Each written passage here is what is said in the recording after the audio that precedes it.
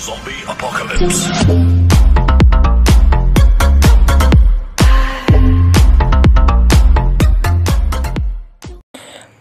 semua, balik lagi di channel ini. Di video kali ini kita akan membahas timnas U18 Indonesia yang akan melawan Allianz Sport.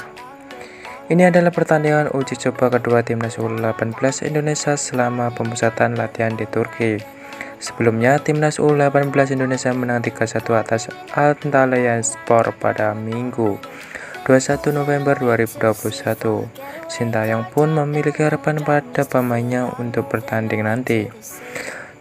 Saya berharap pemain bisa melakukan permainan yang diinginkan juga melakukan apa yang diharapkan di pertandingan nanti, ujar Sintayong. Dilansir bolasport.com dari laman PSSI. Kondisi pemain baik tetapi pastinya ada kelelahan karena sebelumnya tidak pernah latihan seperti ini di sini. Latihan tiga kali dalam sehari.